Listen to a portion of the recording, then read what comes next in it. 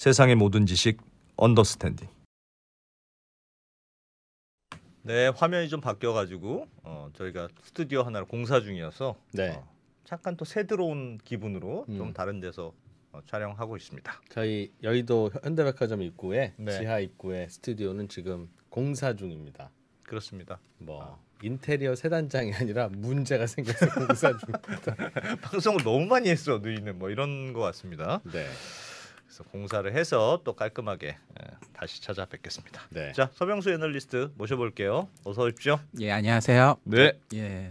오늘은 전력망 이야기. 예. 사실은 전력망 하면 제가 지난번에 나왔을 때도 텍사스 쪽의 이슈들에 오, 대해서 네. 한번 다뤘었잖아요. 재밌었어요. 예. 텍사스. 텍사스는 혼자 따로 노는 애들이다. 예. 네. 그리고 그거 하면서 뒤에 조금 잠깐 전력망 얘기 다른 나라 얘기도 했었고 예. 그리고 얼마 전에도 오셔서 뭐 전력망에 대한 얘기들 해가지고 음, 아, 뭐 또 전력망이냐 이런 얘기를 하실 수 있는데 예.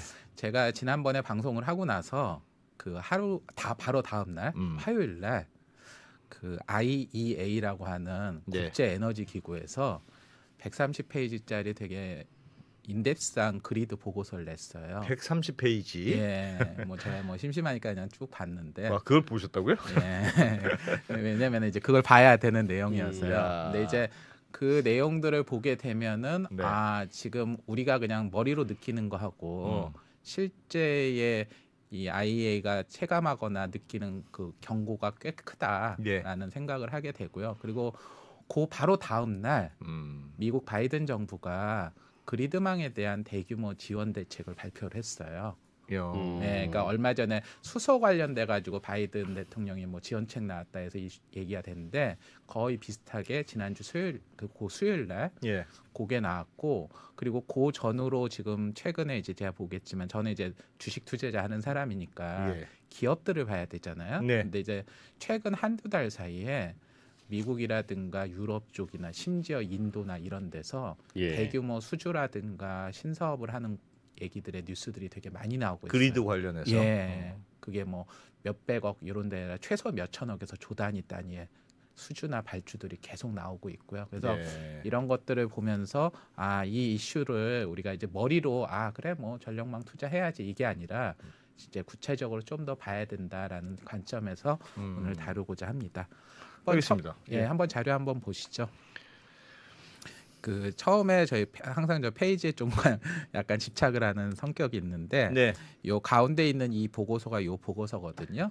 아, 130페이지짜리 예. 긴거 함부로 도전하지 야. 말라 하는 거 그게 그 저겁니까? 네, 그래서 이제 저 보고서는 제가 이제 이 보고서를 알게 된 게 이 보고서가 나오고 나서 되게 많은 언론에서 다뤘어요. 물론 한국에서는 안- 거의 안 다룬 것 같은데요. 예. 해외에서는 이걸 좀 되게 이슈로 다뤘고 음. 이게 제가 보기에는 좀 의미가 있다고 봅니다. 그리고 음. 여기 이제 보시면 이 여기에 이제 우리 한국에선 크게 관심이 없지만 음. 기후 재난 얘기하고도 또 살짝 연동이 돼요. 그래서 예. 여기 그 사진도 잠깐 담았고 그 위에 보면은 저게 배터리 장치 ESS거든요. 예. 한국에서는 이제 한때 ESS 떴다가 사라졌잖아요. 음. 근데 요 얘기까지도 이제 같이 묶어서 예. 할 내용이고 뒤로 갈수록 이제 기업들 실제 상장 기업들 투자 관련된 내용도 있으니까 음. 한번 보시면 재밌을 것 같습니다. 예, 예. 아, 좋습니다. 예. 네. 일단 처음에 나온 게 제가 사실은 그 요거 IA 예, I 뭐 뭐라고 한 걸까요? 일단 CNBC에서 나온 자, 이 기사를 제가 캡처를 한 거예요.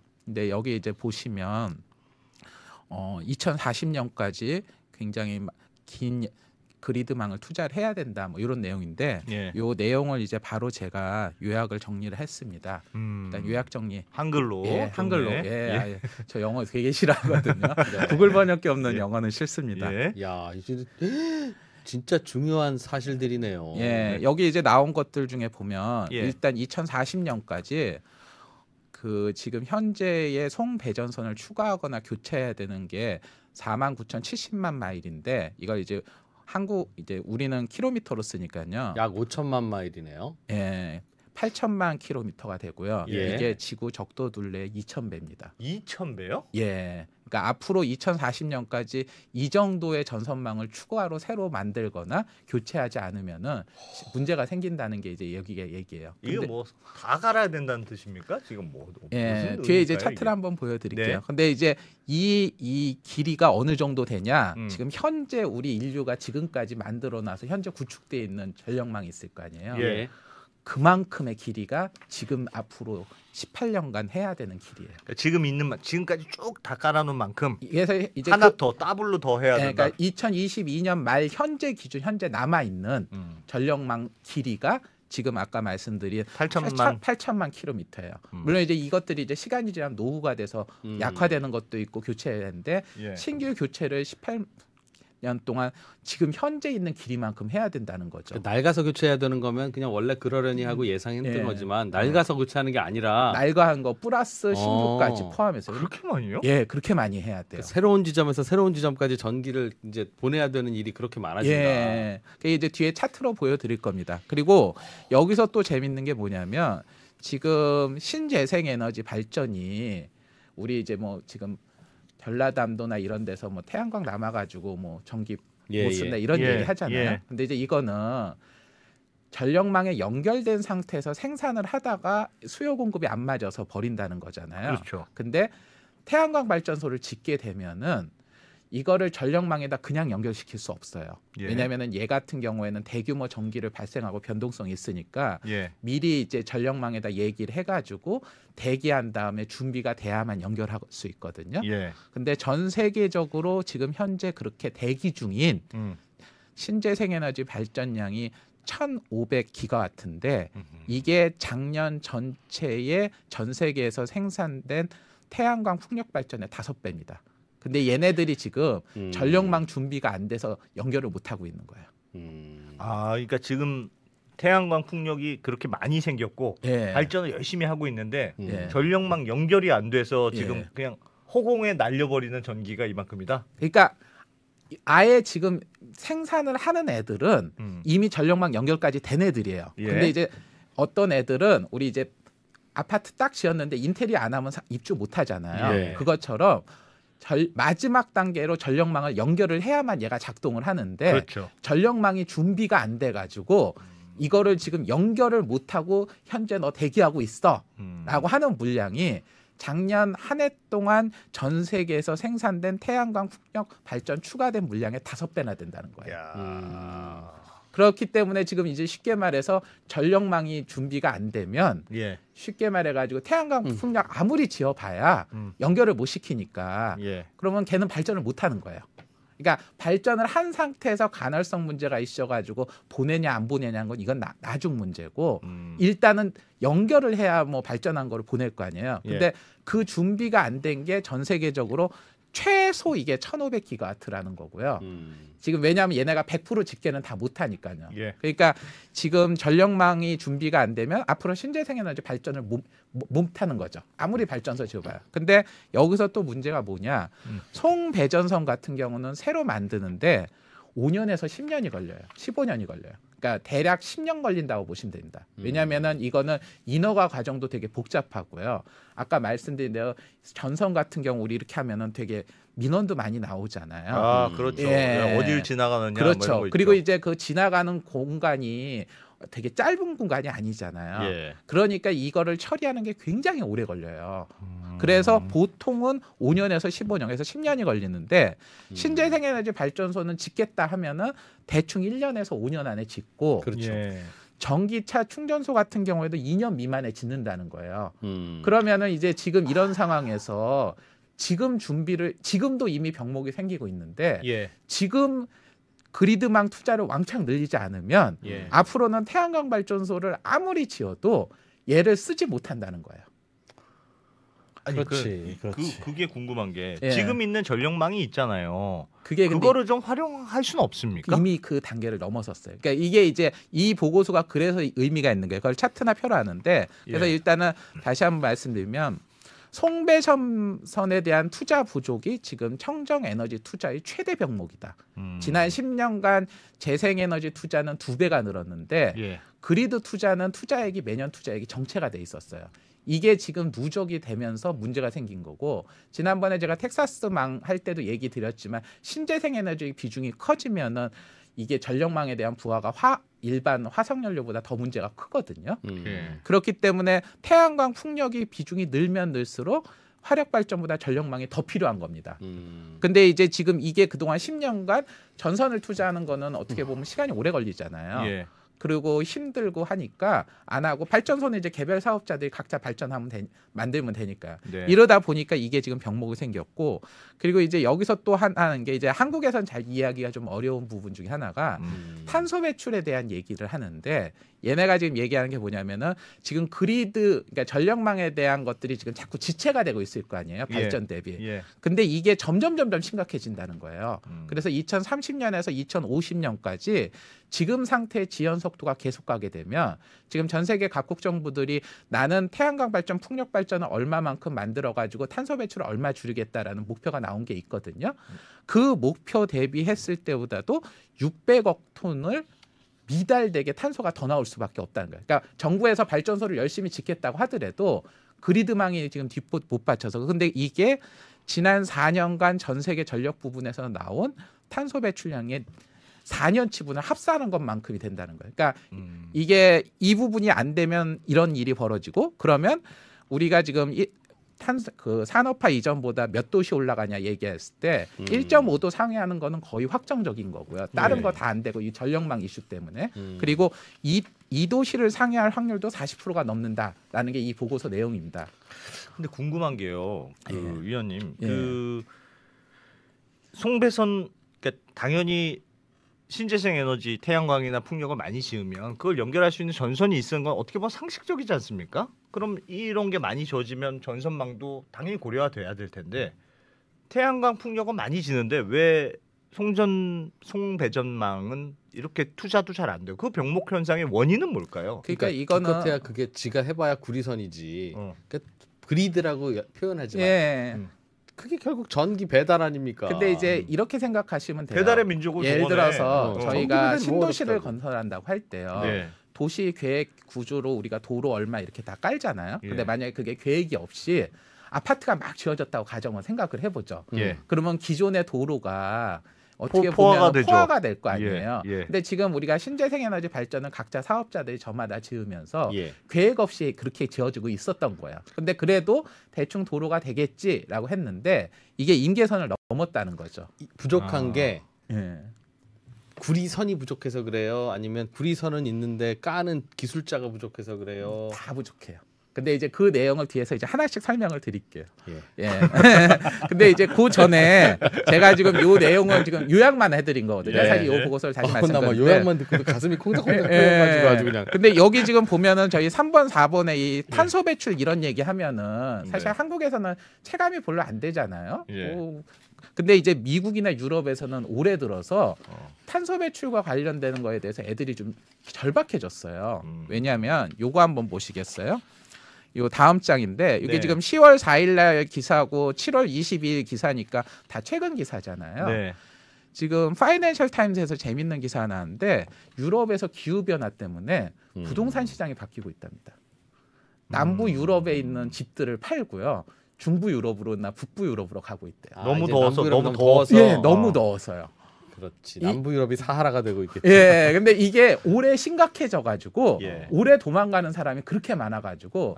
이게 부동산 가격에 영향을 미친다는 기사가 올해 10월 4일자 파이낸셜 타임스 어머나, 뉴스에. 나왔습니다. 그럴, 그럴 만하지. 예, 근데. 왜냐하면 또 유럽에서는 에어컨도 별로 없기도 하고요. 원래 유럽인들이 예. 그 그냥 워낙 온화한 날씨에 익숙해져서 좀만 덥고 좀만 추우면 아주 그냥 난리 난리 난리를 예, 합니다. 맞습니다. 우리는 뭐 그냥 영하 30도에서 영상 40도까지 그냥 뭐 그냥 뭐 그러니까요. 그러니까 한국 분들하고 이 체감이 다른데 이제. 유럽 분들 입장에서는 네. 제 부동산 가격이 떨어지는 거예요. 그렇겠어요. 근데 이제 이게 아 유럽 애들만 그렇고 에어컨 빵빵한 미국은 전혀 상관없겠지라고 예. 생각할 수 있는데 미국도 요즘에 이슈입니다. 거지. 아, 그래요. 예, 여기 이제 7월 22일자 미국자인데 아. 여기는 지금 무슨 일이 벌어지고 있냐면요.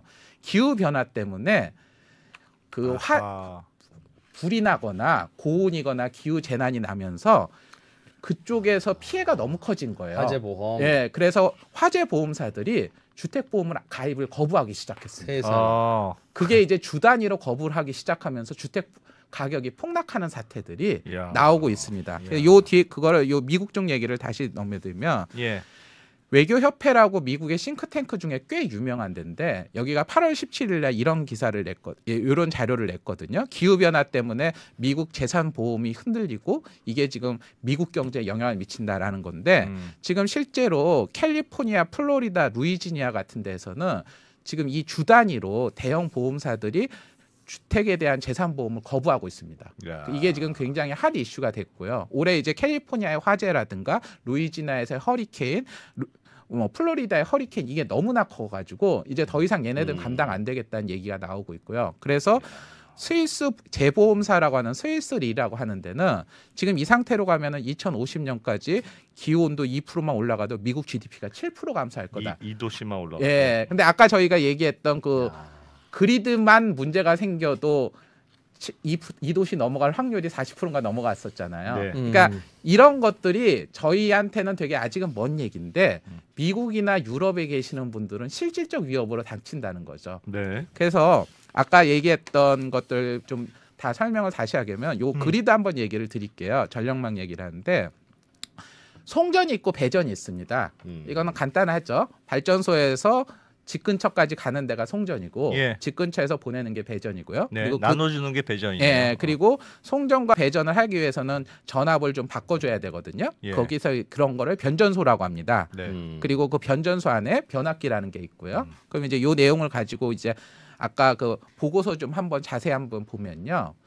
요게 지금 보면은 이쪽에 있는 거는 선진국 데이터고요. 어허. 요거는 이제 이머징 및 개발도상국 데이터예요. 네. 근데 지금 얘네들이 얘기한 게 뭐냐면 우리가 송전선하고 배전선을 나누는데 음. 송전선은 되게 적습니다. 그러니까 요, 요 색깔 작은 게 송전선이고요. 예. 요게 배전선이에요. 그러니까 지금 현재 기준으로 보면 배전선이 이만큼이 있고 여기 송전선은 요만큼 있는 거예요. 음. 그러니까 네. 집 근처까지 연결하는 게 큰 거죠. 근데 네. 요 색깔은 뭐냐면은 지금 이거 중에서 우리가 교체해야 될 거 있잖아요. 음. 앞으로 저절로 낡아서 예, 그러니까 얘네 얘네들이 이제 송배 전선이 이렇게 두 개가 이렇게 음. 줄어드니까 음. 예. 이 줄어드는 거를 교체하는 수요가 얼마가 나와야 되냐 하는 게 요만큼이라는 아, 거고. 그래야 평평하게 현재가 예, 유지되는. 거죠. 예. 예. 그리고- 초록색은 재개발, 어. 주황색은 신도시. 예, 그러네, 그렇게 그렇게 그러네. 이해하시면 됩니다. 거기에 이제 송전 배전이 섞여 있는 거라고 보시면 돼요. 근데 지금 보면은 선진국 쪽을 보면은 2050년까지 이 기존 전선이 너무 급격히 줄어들어요. 왜냐하면 지금 전선들이 다들 노후화됐거든요. 낡아서. 예, 낡아서 이게 지금 현상 유지만 하는 것만으로도 이 투자 않아, 규모가 이렇게 않아. 되는데 예. 예. 지금 문제는 이것만 가지고 안 되는 게 신재생 에너지가 늘어나고 있잖아요. 그렇지. 그러다 보니까 추가해야 되는 게 요만큼입니다. 그러면 지금 이만큼을 투자를 해야 되는 그러네. 거잖아요. 음. 아, 무슨 말인지 알겠어요. 예. 그런데 이게 지금 양이 지금 양의 잔존 양에 비해서도 적지가 않죠. 그러네요. 이게 벌써 먼 얘기가 아니라 2050년 얘기고. 와. 그러니까. 야, 저 네모만 대충 해도 지금 있는 양만큼 되네요. 예. 근데 이제 이게 선진국보다 더 심각한 건 이머징 개발도상국입니다. 그렇지. 예. 예. 안 그래도 계속 전 전기 새로 들어가야 되는 예. 마을들도 있었을 그렇죠. 테니. 그러니까 여기는 추가하는 물량이 이만큼이에요.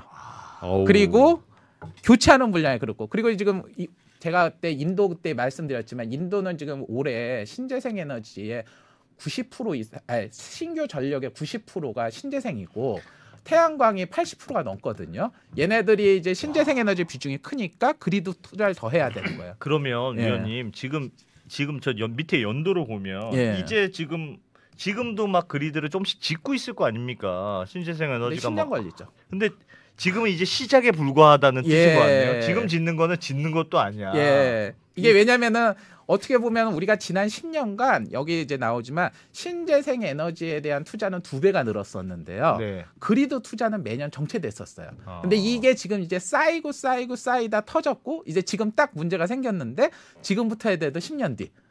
약간 출산율하고 비슷한 느낌인 거죠. 음. 와. 그러면은 이제 여기서 이제 얘기하는 게 전력 사용량은 지난 10년간보다 앞으로 10년간 20% 이상 더 빠르게 증가할 거다. 그건 상식적으로 음. 이해가 가시죠. 예. 왜냐하면 전기차도 늘어나고 있고 전기차로 가지고 뭐 냉, 냉- 에어컨도 늘고 있고 가열도 늘고 있고 그리고 최, 여기서 나오는 거는 앞으로 전기분해 수소도 늘어나고 하기 음. 때문에 엄청나게 늘어날 거다. 그리드 음. 확장은 필수적이다. 근데 이제 그리드가 지난 10년간 뭐 송전은 좀 비중이 작으니까 배전만 놓고 보면 선진국은 지난 10년간 0.8% 연평균 거의 안는 거죠. 네.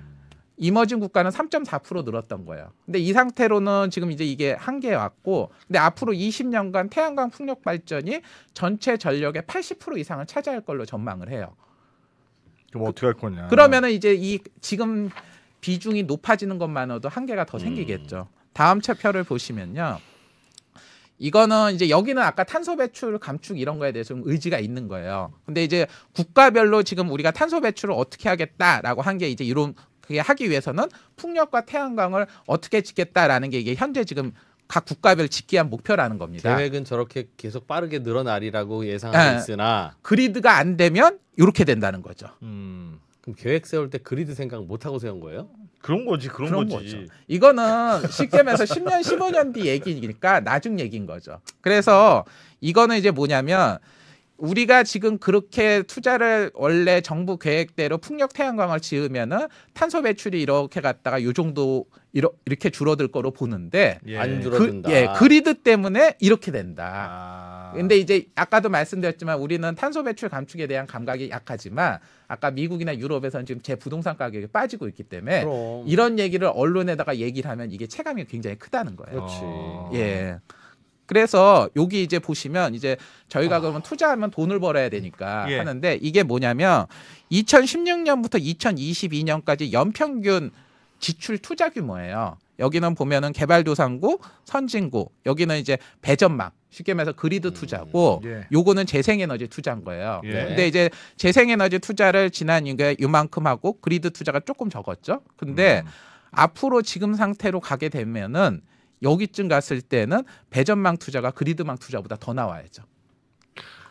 그러니까 이렇게 그러네. 되지 않고서는 지금 계획이 맞지 않는다는 거죠. 음. 그러니까 지금 제가 그리드 얘기하면 아까 야 그거 뭐 전선 뭐 얼마나 하면 돼라고 음. 하지만 태양광 풍력 발전소 투자하는 것보다 더 투자를 하지 않으면은 세상에 이게 지금 감당이 안 된다는 겁니다. 그런데 저거 액수예요 액수? 금액이에요. 그러니까 태양광 패널 깔고 풍력 이따만한 터빈 돌리는데 들어간 돈보다 음. 이거 전선 까는데 들어가는 돈이 만만치 않게 비슷하다. 아니 더 들어가야 된다는 겁니다. 지금 왜? 여기 여기 지금 데이터 보시면 그래봐야 전선 줄기지 그게 뭐라고? 아, 아니에요. 그렇게 그렇게 보시면은 이제 그러니까 이제 이 IEA가 음. 국제 에너지 기구가 이게 지금 되게 심각하다. 근데 예를 들어서 태양광이나 풍력은 여차해서 더 해라라고 압박을 하면 예. 정말 뭐 1, 2년 안에 나올 수 있는데 예. 이거는 지금 준비를 해도 10년이 걸리는 건데 음. 이게 어떻게 보면은 우리 지금 출산율이라든가 뭐 핵폐기물 처리장 같은 거 같이 음. 한다고 되는 게 아닌 건데 분명히 질문 드리면 좀 이따 설명해 주실 거라고 말씀하실 예. 것 같으나 예, 그래도 그래도 조금만 말씀 얘기- 미치겠으니까 예, 어, 한번 얘기해 어, 주시는데 예. 지가 그래 봐야 배, 송전 배전이면 결국은 전기 배달이고 그거 그냥 구리선 만들면 되는 건데 음. 그걸 뭐 그렇게 못 만들 일이 있으며 그거 만드는데 뭐 그렇게 10년이나 걸린다고 이렇게 겁을 주십니까? 아니 그러니까 이제 생각을 해보실게요. 예. 네. 지금 사실 지난번에 제가 텍사스 때 할 때도 얘기를 드렸는데 예. 이게 태양광이나 풍력을 하게 되면 간헐성이 커지잖아요. 예. 네. 그러면 똑같은 발전소를 지을 때보다 이 아무래도 태양광 풍력 비중이 나면은 전보다 전선이 더 늘어야겠죠. 예. 왜요? 나 거기서 그러니까. 왜- 예, 그러니까 예를 들어서 여기 오- 참 원자력 발전소 하나 큰 거 하나 졌어요. 예. 그럼 여기서 집까지 굵은 선 하나만 이렇게 가면 되잖아요. 항상 비슷한 양의 예. 발전돼요. 예. 예. 근데 예를 들어서 재생 에너지는 이거보다 용량이 작기 때문에 음. 하나를 안 짓고 이게 10개가 돼야 될 수 있어요. 그렇죠. 그렇죠. 그러면은 어. 곳에 흩어져 있다. 예. 그리고 여기서 가죠. 그리고 문제는 화력이나 풍력 원자력은 발전 용량이 얼마다 하면은 거의 연료만 집어넣어 주면 90% 이상 가동률을 계속 유지할 수 있어요. 1년 예, 내내. 예. 그런데 태양광이나 풍력 같은 경우에는 캐파의 보통 20% 정도만 연평균 가동이 되는 거예요. 했다 안 했다 했다 안 했다 예. 하겠죠. 놀았다. 왜냐면 예. 햇빛 때문에도 일단 절반 예. 쉴 테고 음. 바람 어, 하는 것도 있고 그리고 풍으로 태양 햇빛 잔뜩 나온 데서 풀로 한다고 하더라도 상대방이 받을 준비가. 안 돼 있으면 예. 이거 다 보내면은 안 되거든요. 아. 그렇기 때문에 전체 용량을 이걸로 하나로 할 때보다 풍 재생에너지를 하게 많이 되면 들겠네. 많이 더 들겠어. 많이 만들어야 되고 아이고. 똑같은 양을 만들 때도 전선량이 더 늘어날 테고요. 예. 그리고 여기서 이제 또 볼 게 풍력이나 태양광 같은 경우에는 사용지하고 꼭 일치하지 않거든요. 음. 그렇죠. 주로는 왜? 사용지랑 먼 곳에서 먼 곳에 풍력 있죠. 태양광이 되지. 멀리 바다 위에서 뭐 세우는 그렇죠. 거죠. 그러면 이거를 끌고 올려면은 더 커지는 거죠. 아. 그러니까. 그러니까 예를 들어서 저희가 한국 기준으로 놓고 보면 가정으로 막 이건 좀 비유가 부적절하지만 강원도 산골짜기가 바람이 잘 불어서 거기다 만든다. 음. 그럼 거기서부터 여기까지 끌고 와야 될 거 아니에요. 그렇죠. 전선이라는 게 화력 발전소하고는 다른 거죠. 음. 그러니까 재생 에너지가 늘어나게 되면은 기본적으로 그리드라고 하는 게 전보다 더 커지는데 우리는 기존에 다 화력이나 풍력 시스템에만 아. 익숙해져 있잖아요. 예. 그러니까 이게 준비가 안 돼 있던 거예요. 발전소 만들면 전선 이만큼 있으면 되지인데 그게 어. 아니라 네. 워낙 모세 혈관처럼 막 퍼져 있으니까 네. 태양광이나 풍력은 그렇죠. 그럼 어. 앞으로 태양광 발전, 풍력 발전 할 때 네.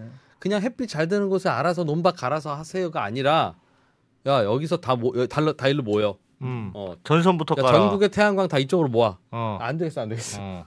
어. 여기서 집합시키고 여기서 만드는 걸 이따만한 굵은 거 그렇게 보내야 되겠네요. 그 도시계획 세우듯이 재건축할 때도 도로부터 확보하고 교통량 맞습니다. 확보하고 그러니까 지금 어, IAEA가 그런 지금 것부터 얘기하는 게. 그거예요. 음. 앞으로 니네들이 재생에너지라든가 전력 시스템이라든가 이런 거 할 때 그리드에 대해서 정말 적극적으로 준비를 하고 계획을 세우지 않으면은 아. 문제가 생긴다는 거를 지금 이슈로 된 거예요. 근데 이러면은 저희가 이제 생각하는 거, 아 그럼 골치 아프니까 우리 재생에너지 하지 말자라고 예, 하는데 예. 그러고도 막 아까 유럽이나 미국에서는 음. 그래가지고 지금 우리가 부동산 가격이 이렇게 되고 생계가 위험하니까 바꿔야 된다라고 얘기를 하고 그런데 이거를 안 하는 애들이 있으면 수입할 때 니네들은 나쁜 놈 음. 이렇게 되는 논리들이 지금 연달아 이어지는 거예요.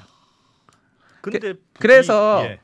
예. 말씀하십시오. 여- 여기 이제 보시면 그래서 이게 지금 재밌는 건데요. 아까 저희가 그, 그리드에 대한 투자는 원래 우리 뭐 LS 전선이나 이런 데 보시면 아시겠지만 선진국보다는 이머징 쪽에서 주로 매출이 많이 나와요. 그렇겠죠. 네. 새로 예, 깔아야 되는 게 새로 많으니까. 깔아야 되는 게 많. 근데 네. 이제 지금 이게 지금 인상적인 게 뭐냐면은 아. 미국 여기가 선진국이고요. 선진국에서? 여기는 아. 중국이고 어메나. 여기는 이머징인데 이야. 뭐 절대량도 그렇다고 하지만 지난 요 게. 2년 3년 사이에 여기 확 급증했죠. 왜 급증을 했냐면 음. 지금 이제 선진국들이 재생에너지 발전 비중이 훨씬 더 높고 예. 이게 감당할 수 없는 수준이고 특히 지정학적 위험이라든가 이런 위험 때문에 이제 러시아로부터 천연가스 들어오면 안 되고 예. 중동에 이거 안 되고 하니까 국가 안보 논리로 재생에너지를 키우고 막 이런 식이 되다 보니까 음. 이제 얘네들이 그리드 같은 거는 가장 마지막에 두고 싶은데 예. 이미 이게 튀었다는 거예요.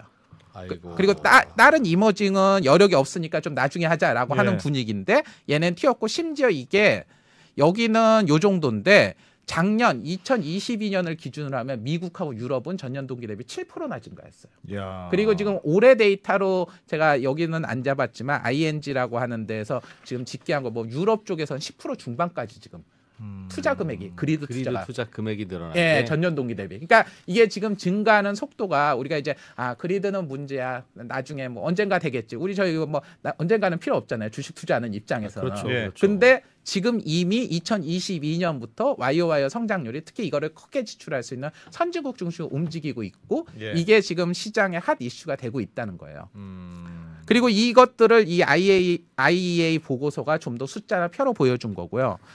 그리고 여기서 좀 재밌는 것 중에 하나가 아까 전선망 얘기를 하셨는데 갑자기 디지털 얘기가 나옵니다. 예. 그리드 투자의 지금 20% 이상은 그 디지털 투자가 구성을 하고 있어요. 뭔 소리야 저거. 이- 이거 이건 좀 잘 이해가 안 가시죠? 네. 근데 일단은 요걸 이해하시려면 뭐냐면은 네. 과거에 비해서 지금 전력망이 더 복잡해졌어요. 일단은 쓰는 사용자들이요. 옛날에는 공장 있고 가정집 있고 가정집에 4인 가구 하면 대충 전기 쓰는 얼마? 양 견적이 음. 나오잖아요. 음. 근데 지금 집에서 전기차를 다들 써요. 예. 그러면 전기차는 전기 사용량이 훨씬 더 크죠. 그리고 재생에너지 발전을 하는 애들도 늘어나요. 예. 그럼 얘네들은 아까 말한 대로 막 간헐성이나 이런 이슈 되니까 여기에 대해서 전력망을 이전처럼 그냥 기존에 꽂던 대로 꽂으면 안 되는 거예요. 음. 그래서 아까 말한 대로 신재생 에너지 하는 애들은 대기 준비하고 있는데 이거 음. 준비가 안 돼 있던 거고 그리고 지금 한국에서는 아니지만 유럽에서는 히트 펌프라고 하는 게 지금 올해 되게 핫해졌어요. 예. 에어컨하고 비슷한 건데 음. 에어컨은 우리가 더울 때만 하지만 더울 음. 때 추울 때를 다 전기로 해요. 예. 근데 이게 지금 엄청 많이 잘 팔리면서 올해 LG전자 실적도 되게 잘 나왔거든요. 음. 근데 이게 많이 늘다 보니까 기존에 집에서 쓰고 있던 전력 사용량이 이전 계산이 다 달라지는 거예요. 음. 그러니까 이 에너지의 사용이라든가 공급이나 이런 데들이 이전보다 더 여기저기서 이슈들이 커진 거죠. 예. 그리고 지금 전력 참여 시장 쪽에서도 문제인데 옛날에는 발전소가 있으면 네. 발전소가 전력 망 하는 데다가 연결해 주면 됐는데 음. 지금은 생산자이자 소비자인 애들이 생겨요. 그렇지, 그렇지. 미국에서 태양광 발전소를 집에다가 천장에다 지붕에다 깐 사람들이 아. 평상시엔 쓰다가 얘가 이거를 남으면 전기를 공급을 해요. 예, 그러면은 얘는 예전에는 그냥 사- 단순 사용자로만 계산하면 되는데 아. 얘가 언제 공급자가 되는지를 파악을 하고 있어야 될 거 아니에요. 그렇죠. 그리고 이, 이 전력 시장에서 이제 그런 애들이 되는데 아까 말한 대로 발, 그 제조업체들 중에서 청정한 전기로만 물건을 만들어야 납품을 받는 이런 이슈가 되잖아요. 예. 음. 그러니까 그런 사람들이 이런 것들을 전기를 생산할 때 이것들을 자기가 이렇게 하면 안 되니까 우리 옥션 되는구나. 같은 플랫폼이 하나 생기는 거야. 또 그래서 이. 플랫폼이 저 신재에너지 중간에 남는 애들 모아가지고 아하. 공급자한테 연결시켜주는 가상 발전소 같은 업자들이 생기는데 예. 이걸 어그리게이트라고 하는 용어를 써요. 이런 아. 연결자들이 생기는 거예요. 그러면은 이 것들이 되면서 전력망이라고 하는 게 옛날에는 그냥 이렇게 생산해서 한 방향으로만 갔다면 복잡성이 커지잖아요. 예. 그러니까 이 전선 중간 중간에 다 얘네들 어떤 놈이 들어오고 어떤지 나오는 거지를 실시간 모니터링하고 예. 그 데이터를 AI가 분석하고 음. 그래가지고 중간에 왔던 것들 이렇게 보내고 음. 하는 것들에 대한 디지털 투자가 매우 매우 중요해졌고 이게 이미 2022년 기준으로 전체 그리드 투자의 20%. 그런데 이 아. 비중은 앞으로 더 커질 거다. 그리고 여기에서 기준만 지금 들어가는 건. 뭐냐면 어. 전선이라든가 전기 중간 중간에 모니터링 그리고 음. 전선이나 전기나 발전기라든가 변압기가 됐을 때 원격에서 제어 네. 그리고 만약에 그리드망이 일시적으로 어느 지역에서 막 과잉 생산이 되가 했을 때 망가지면 자체적으로 자가 복구 그리고 전선을 이렇게 보낼 때 온도에 따라 가지고 전기를 보내면 그 손실률이 커진대요. 예. 그러면 중간 중간 날씨에 따라 가지고 전압을 어떻게 하는지를 자동적으로 제어해 주는 전류 동적 조정. 음. 그리고 이런 것들을 다 문제가 생길 거를 사전에 데이터를 분석해서 AI가 사전 조치하고 그리고 센서가 들어가고 드론을 보내고 인공위성 데이터를 통해 가지고 날씨라든가 전력망의 움직임들을 사 제어하는. 그래서 여기 보시면 그리드망 투자 중에서 요 맨 위에 보시면 analysis 해석하기라고 하는 영역들도 있고요. 음. 네트워크라든가 이런 스마트 매- 미터기도 있는데 이런 식의 투자들이 지금 그리드에서 되게 중요하게 된 거예요. 그래서 음. 이제 뒤에 가서도 말씀드리겠지만 전선망에 대한 투자를 하는데 전선망에 광통신으로 연결시켜 가지고 상호 데이터들 연결하고 확보하는 이런 것들도 예. 굉장히 중요한 영역이 됩니다. 그러면은 이거를 그냥 전선망 갖다 깐다고 이제 될 일이 아닌 거죠. 음. 그러니까 이런 것들에 대한 종합적인 투자가 제대로 돼 있지 않으면은 너희들은 앞으로 재생에너지 투자도 안 되고 여러 가지 이슈가 된다는 걸 IAEA 보고서가 얘기하고 있는 겁니다. 어. 그리고 이런 얘기가 이 발표가 17일 날인가 10, 아 18일 날에 했는데 그리고 하루인가 이틀 뒤에 미국 정부가 바로 이런 게 나왔어요.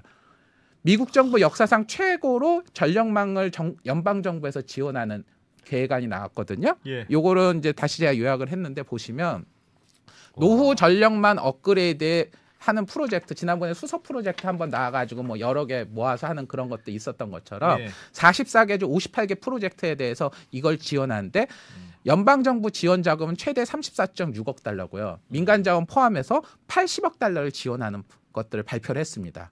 근데 이게 그 이런 것들이 갖춰져야만 신재생 에너지 현재 35억 기가와트를 늘리겠다고 하는데 도움이 될 거라고 하는 거고 지금 이 바이든 정부가 들어서고 나서 그리프라고 하는 것들을 만들어서 우리가 기후 변화에 대응하기 위해서 연, 전력망에 대한 투자를 해야 되고 여기에 대한 연방 자금을 105억 달러를 투자하겠다고 계획을 했는데 그 중에 일부인 거예요. 지금 여기 105억 달러 중에 34.6억 달러만 들어가는 거니까 그러면 이런 대책들이나 규모들이 앞으로 추가로 나온다는 거죠. 그리고 이제 기업 얘기를 조금 시간이 많이 나서 예. 얘기 드리면 예. 그 이제 버먼트? 버먼트에 무슨 전력 회사가 하나 있었는데 버먼트가 어딘가 저도 몰라서 봤는데 예. 여기 보면은 이렇게 빨간색이 그러니까 뉴욕주보다 작은 되게 조그만 주예요. 네. 그러니까 여기는 뭐 사실 그게인데 여기 버먼트의 전력 회사가 이 10월 10일 날 무슨 얘기를 했냐면 전력망에 대한 부담을 극복하기 위해서 가정용 배터리를 쓴다 이런 얘기가 나왔어요. 음. 이게 뭔 얘기냐 보면요. 근데 일단은 이 회사를 좀 볼 필요가 있는데 예. 전기 회사인데 되게 핫해요. 음. 2022년에 어, 영향력 있는 100대 타임즈가 선택 선정한 회사 중에 하나고요. 음. 왜냐하면은 이 회사는 쉽게 말해서 송배전하는 회사입니다. 그러니까 발전 안 하는 우리 한전 중에서 발전 안 하는 회사인데 버먼트에서만요. 27만 가구밖에 안 되니까 되게 규모도 작아요. 버먼트가 되게 작기 때문에. 근데 예. 여기는 쟤네들이 공급하는 전기를 100% 친환경, 탄소 배출 제로 전기만 연결하는 게 얘네 목표예요. 이야. 근데 이게 버먼트주가 작으니까 이게 가능한 거죠. 근데 음. 이거를 실현한다고 해서 미국 내에서도 되게 핫한데요. 근데 이제 여기가 아까 10월 달에 무슨 얘기를 했냐면 여기 고객분들 중에서 주거용 고객들한테 이 발전사에서 ESS를 집에다 깔아주는 거예요. 음. 우리 이제 통신사에서 인터넷 가면은 셋톱박스 깔아주는 것처럼 음. 왜 이제 그걸 하냐면은 아까 기후 재난이 올해 미국에서 컸다고 했잖아요. 예. 버먼트주도 컸던 겁니다. 어. 갑자기 기후 변화 때문에 전력망이 망가지거나 폭우가 나거나 막 저- 고, 고온으로 인해 가지고 전기를 음. 블랙아웃 되고 이런 것들이 버먼트주에서도 있었던 거예요. 그러니까 예. 이거를 하기 위해서 우리가 어 배터리를 구입을 해가지고 음. 발전소에서 구입을 해서 가정에다가 일단 급한데 다가 하나씩 설치를 해주고 이런 것들을 쓰는데 얼마를 쓰냐? 초기 배터리 구입 비용만 2.8억 달러, 음. 7년간 15억 달러 쓰겠다는 거예요. 근데 이게 발전소 새로 짓고 송배전선 새로 까는 것보단 싸게 먹힌다. 야, 음. 그냥 예. 근데 이제 이 프로젝트가 이제 의미가 뭐냐면 아까 청정 발전하려면 송배전선만 깔고 이런 것도 있지만 ESS라든가 되게 다양한 것들이 대책들이 있어야 되는 거고요. 그때 예. 제가 그래서 뭐 원전이나 수력, 수력 음. 그 수소 얘기하는 것들도 한두 가지로만 될 수 있는 게 아닌 겁니다. 그리고 얘- 이 회사는 이미 테슬라 파워웰이라고 하는 테슬라의 ESS가 있거든요. 예. 이걸 구입해 가지고 임대 형태로 이미 이런 거를 해 봤어요. 음. 그래서 이번 프로젝트를 진행을 하는데 이게 지금 미국 내에서 되게 핫한 이유가 뭐냐면 버먼트는 되게 작은 지역이고 하지만 100% 청정 에너지를 하는 업자이기 때문에 예. 예. 얘가 이게 성공이 되면 뉴욕주라든가 주변으로 확대될 걸로 기대하는 거예요. 음. 그러니까 지금 이게 이제 우리 같은 경우 아 그리드망대 아 이건 씨발 화석 연료 다시 하고 그냥 석탄 발전하면 되지 하는데 음. 미국은 이게 아니라는 거예요. 두 번째 여기 보시면 이건 영국 케이스인데요. 예. 영국의 발전소 중에 한 군사 재생 발 발전소인데 여기 또 100% 재생 에너지를 하는 발전소예요. 네. 근데 여기가 지금 음. 샌드웨일이라는 데다가 ESS 대형 76개를 해가지고 그 시골 도시 시골에다가 이걸 만들어서 우리가 신재생 에너지 생산하다가 간헐성 때문에 남는 경우 있을 땐 여기다 저장한다. 그래서 우리가 10만 가구 최대 2시간 동안 갑자기 급변 사태가 됐을 때 대응할 수 있게 하겠다라는 거고 이게 근데 단순히 회사 차원이 아니라 영국의 에너지 정책의 되게 핵심적인 부분 중에 하나다. 그래서 영국 정부에서도 주도하고 근데 이것도 10월 20날 나온 기사예요. 음. 그리고 예. 어, 캐네디안 솔라라고 하는 회사가 있는데 여기는 이제 미국의 상장사에서 아마 아시는 분도 있을 거예요. 태양광 음. 발전과 관련되는 회사인데 여기 자회사도 지금 뭘 했냐면은 1기가와트급 아까 말한 저, 직류 ESS 장비 같은 거를 하는 거를 공급하는 거를 자회사를 통해서 했는데 음. 수주를 했다 했고 예.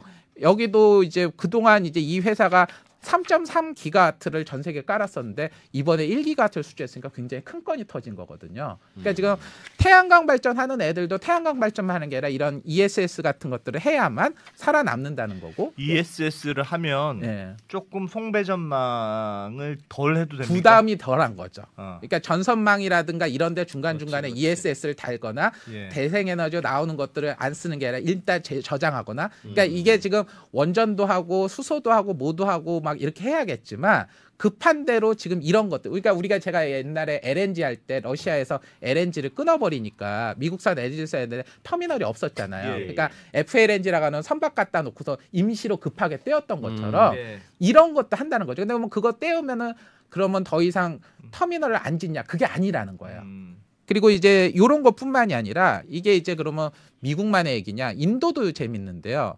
인도 같은 경우에 아다니 그룹 예전 얼마 전에 한번 이슈가 돼서 핫했잖아요. 네. 여기가 지금 인도 남부하고 서부에 대규모 송배전망을 지었거든요. 근데 네. 이 아다니 그룹도 어떻게 보면은 재생에너지, 태양광 발전이나 재생에너지를 주도로 해요. 그러니까 이 시스템을 유지하기 위해서는 이걸 해야 된다는 거고요. 그래서 여기에 지금 시운전에 성공했다라는 게 10월 20날 나온 기사예요. 근데 여기 지금 보시면 이거 짓는데도 강철 같은 거, 타 아까 뭐 전선가인데 이제만 여기 이렇게 하는 이 터널 같은 이 타워 같은 경우가 에펠탑 지금 10개를 세울 정도 이 프로젝트에 음. 강철이 들어갔어요. 어. 그러니까 여기에 우리가 이제 전선을 한다고 생각하면 구리만 들어가는 걸 생각하겠지만 예. 강철도 아. 굉장히 많이 쓰입니다. 그리고 거기에 절연체도 굉장히 많이 들어가고요. 그러니까 예. 이런 프로젝트들이 인도도 지금 제가 지난번에 인도가 지금 신재생을 세게 키우고 있으니까 인도도 이런 투자를 하고 있는 거예요. 그리고 이제 독일 쪽으로 가보시죠. 독일 같은 경우에는 음. 우리로 말한 전력망 회사인데 이것도 9월 29일 날 기사거든요. 예. 여기 보면은 얘네가 지금 46억 유로 음. 하나로 말하면 6.6조 원짜리 계약을 체결했어요. 지출한 건데 음. 쉽게 말해서 뭐냐면은 얘네가 이제 친재생 에너지를 위주로 하는 발전 발전을 가지고 배전을 하는 업자인데 예. 이거를 하려고 하다 보니까 전선에 대한 투자를 해야 된다. 음. 그래서 전선 투자 금액으로 6.6조 원을 지출한 거예요. 근데 여기에 지금 이제 계약을 한 데가 덴마크 NKT하고 이탈리아 프리지미안이라는 데인데 아마 국내에서 LS 전선에 관심 있으신 분들은 글로벌로 얘네들이 경쟁사 몇 개 중에 하나거든요. 근데 얘네들이 지금 요 한 계약에서만 수주한 규모가 3, 4, 뭐몇 조 원 단위로 수주를 한 거죠. 근데 이제 여기들 보시면 얘 뭐 한데 썼냐? 재생에너지를 하려고 하다 보니까 해저라든가 육상의 해상 풍력 발전소를 많이 지었는데 예. 그것들을 연결시키는 케이블 하는데 이런 막대한 돈이 필요한 거예요. 음. 이걸 추가로 말씀드리면 이 회사 역사상 최대 투자 규모예요. 단일 역사 규모로. 음. 근데 얘네가 지금 이런 프로젝트를 하는 것들이 풍력이나 태양광이나 이런 것들을 하려고 하려면 이런 투자가 없이는 감당이 안 된다는 거죠. 음. 다음 거 보시면 아까 이제 이탈리아 프리즈미안이라고 하는 데인데 아까 그 수주 나오기 전에 9월 초에 이탈리아에서만 수주를 한 게 6.3 유로, 예. 6.3억 유로. 그러니까 한화로 말하면 9천억 정도 돼요. 음. 이것도 뭐냐면 이탈리아의 중부하고 남부 지역을 해상으로 연결을 하는 근데 여기도 지금 신재생 에너지 발전이 늘다 보니까 이런 것들을 해저 케이블로 연결해야 되고 그 연결하는 데만 거의 9천억 단위의 수주를 받은 거고 이 프리즈미안이라는 회사가 이런 해저 케이블 해상 설치하는 선박까지 다 가지고 있는데 예. 이 회사가 올해 지금 현재 수주한 것만 14조 원이 넘어요. 위원님. 근데 예. 저는 궁금한 음. 게 들으면서 이제 무슨 말인지 알겠어요. 예. 송전망도 매우 필요하고 기업들도 열심히 하고 있는데 우리나라의 경우를 돌아보면 예. 송전망을 만드는데 그- 그게 고압이 지나가지 않습니까? 예. 그래서 그 주민들 반대. 그래서 뭐 다 짓기로 해도 여기든 죽어도 못 지나갑니다. 그런 이슈 때문에 투자해도 잘 안 되는 거 아닙니까? 그러니까 그거를 해야 돼요. 사실 아까 제가 자세히는 어. 안 했지만 IAEA 보고서 중에 하나가 중에 하나가 예. 왜 이렇게 이게 오래 걸리냐? 음. 인허가 이슈도 있다. 음. 그렇기 때문에 인허가를 제대로 하려면 국가에서 인허가라든가 이런 절차에 대한 정비 같은 것도 예. 되지 않으면은 이슈가 된다는 거예요. 음. 그리고 지금 우리는 아직 그때도 말씀드렸죠. 우리는 신재생 에너지 비중이 전체 발전에서 8% 정도밖에 안 되거든요. 예. 그러다 보니까 우리는 이게 아직 체감을 못 하는 거예요. 그리고 아까 말한 대로 기후 변화 이슈도 우리는 사실 체감을 잘 못 하잖아요. 예, 예. 근데 미국이나 유럽은 이거에 대한 체감 정도가 크고 텍사스 같은 경우에 그때 말씀드렸지만 15% 16%가 태양광 발전이고 이러다 보니까 얘네들은 그냥 대충 하는 순간 이제 이미 감당할 수 없는 상황이 와서 작년부터 이제 급격한 투자가 들어서는 거죠. 예. 그래서 이런 투자 규모들이 지금 보시면은 막 몇천억에서 조 단위 투자들이 나오고 있는 거고요. 아, 여기 지금 보시면 그래서 이제 한국 얘기도 한번 말씀드릴게요. 사실은 이제 국내에서 LS 전선이 8월 달에 좀 사실은 되게 보도자를 뿌리면서 세게 기사를 내신 게 있어요. 예. 여기도 이제 지금 보면은 최근에 이제 LS 전선도 글로벌로 전선 업계 중에서 상위 몇 개 업체 중에 하나거든요. 해보니까 요즘 분위기가 되게 좋은 거예요. 음. 그리고 지금 에- KT 서브마린이라고 하는 회사가 있는데 이제 해저 케이블을 까는 회사거든요. 아 그래요. 예, 이 회사를 LS 그룹이 인수를 했어요. 아까 이제 음. 프리즈미안 같은 경우에도 음. 전선을 생산하고 공급하는 것뿐만 아니라 그거 까는 것까지 얘들이 다 하거든요. 음. 근데 이런 것들을 하고 대규모 투자를 하고 이러는 이유들이 뭐냐? 지금 업황이 좋다는 거예요. 야. 그리고 여기 이제 보시면 여기도 이제 송배전 하는 회사인데 음. 여기도 지금 올해 9월 27일 날 19억 유로 2.7조 원짜리 지금 수주를 했, 발주를 음. 했거든요. 음. 여기 독일하고 네덜란드에 들어가는 여기는 이제 변압기예요. 음. 네덜란드하고 도- 독일과 네덜란드에서 이제 발전을 하는 것들을 전선 말고 중간 중간에 바꾸는 변압기가 필요하고 그 기존의 발전소에서는 이것들을 전체적으로 제어하기 위한 주파수라든가 변압 안정 시스템인데 이거를 음. 중간 중간 변압기에서 하는 거예요. 그러니까 이게 약간은 디지털 하이테크 영역이 들어가는 거죠. 네네. 그런 변압기와 이런 것들을 하는데 2.7억 유로 했고 이거를 지금 지멘스, 히타치, GE, 로얄 SMT, SMIT 음. 이런 네 개 회사가 대충 나눠 갔다는 거예요. 네. 그리고 하나 보시면 미국에서는 지금 아까 변전소 얘기 드렸잖아요. 이거를 이제 100% 디지털로 운영을 하는 회사가 나왔어요. 이게 네. 테스트가 아니라 상업 운전입니다. 음. 그거를 하기 위해서는 어떻게 해야 되냐면 변전소 기존의 변전소는 현재 지금 변전소 상태가 어떤지 모니터링도 안 되고 예. 악천후가 나오면은 얘가 오류가 발생해가지고 갑자기 뭐 전력 소요가 늘거나 줄거나 대응도 안 되고 신호 제거를 하기 위해서 그 안에 수많은 전선들이 필요한데 광통신과 전력 연결 이런 실시간 모니터링 이런 시스템으로 첨단화해서 여 변전소 자체도 굉장히 하이테크적인 기술로 바뀌는 거죠. 예. 여기 이게 지금 히타치 얘기인데 아까 거기는 미국 케이스는 이미 시- 상업 운전을 시작한 거고요. 예. 히타치는 올해 9월에 발표한 건 뭐냐면 동일 본 철도하고 해가지고 2025년까지 이런 시스템을 구축하겠다. 동일본 아. 철도에 들어가는 철도에 전체 들어가는 전력에 들어가는 변전소들을 다 디지털로 해가지고 이걸 2025년부터 공급을 하겠다라는 프로젝트들을 했거든요. 이미 실적에도 막 반영이 되고 있습니까? 이제 가고 있는 거죠. 어. 아까 유럽 쪽 같은 경우는 이미 발주를 했으니까 이미 나가는 발주했으니까 거고 나가는 이거는 거고. 이제 공동 개발하는 거고 이게 2025년부터 들어오는 거잖아요. 아하. 그리고 여기 이제 보시면 이건 좀 다른 얘기인데 BP는 아시잖아요. 우리 네. 글로벌 석유 회사요. 네. BP가 생뚱맞게 테슬라한테 슈퍼차저를 얼마 전에 1억 달러를 구입했어요. 예.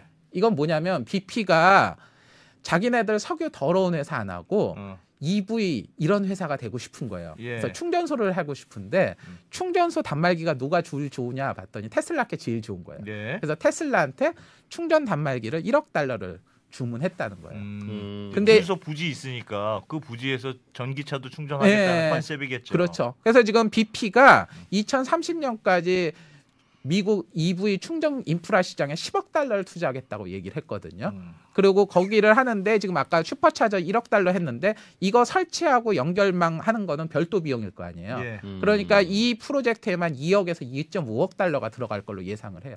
그러니까 이게 이런 것들도 뭐냐면 예전에 충전소에서 전기가 들어갈 일이 없을 거 아니에요. 예. 이 그리드망에 대한 부하들이 또 생기는 거고 음. 이런 그리드에 대한 투자들을 석유 회사들도 지금 이렇게 투자를 하고 있는 거예요.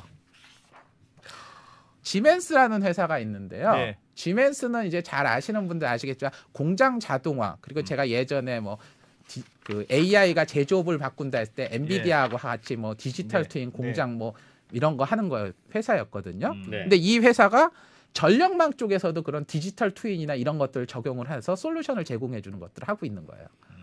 그러니까 아까 제가 말씀드렸던 전력망이라고 하는 게 단순히 전선만 까는 게 아니다라는 그러네요. 거고 그러네요. 이게 이미 아일랜드에서도 요번에 10월 18일 날 1200달러 수출을 했습니다.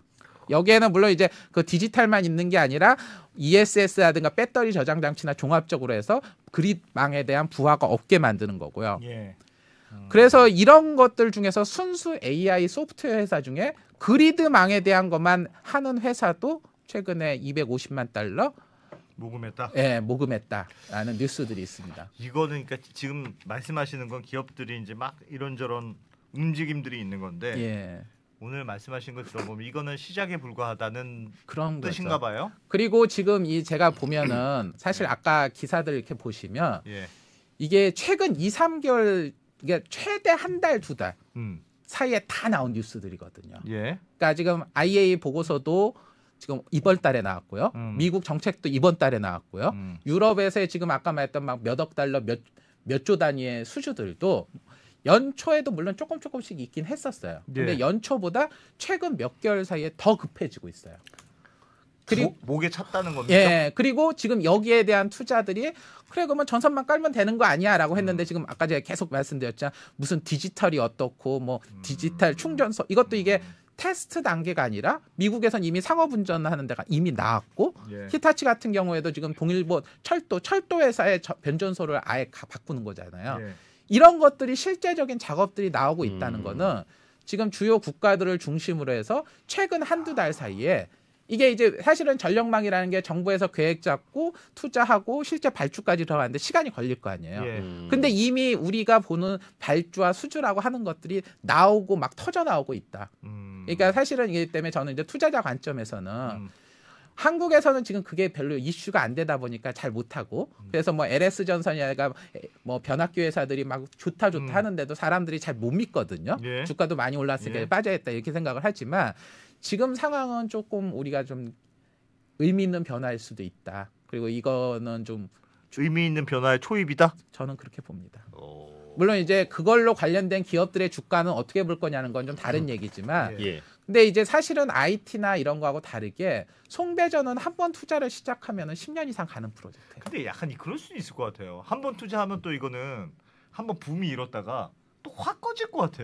아니 근데 지금 않습니까? 아까 말씀드렸지만 어. 붐이 확 할 만큼이 가기는 어. 아까 그 맨 너무, 처음에 너무 많이 해야 예. 된다. 숙제가 너무 많다. 예, IEA가 아까 말씀드렸던 2050년까지 데이터도 예. 굉장히 낙관적으로 우리가 진행을 엄청 빨리 한다는 가정하에서 나온 그거예요. 근데 그렇게 진행을 하는 거는 음. 쉬운 일이 아닌 거죠. 우리가 이제 아까 말한 태양광 발전, 풍력 발전 짓는 것처럼 전선을 그렇게 뚝딱뚝딱 질 수가 없습니다. 그러면 지금 전선을 까는 것 중에 가장 걸림돌이 뭘까요? 그러니까 구리 구리가 모자라는 걸까요? 아니면 인허가의 근데 문제일까요? 지금 다 걸려요. 그러니까 예를 다? 들어서 제가 이제 이거는 뭐좀 기를 것 같아서 안 했는데 네.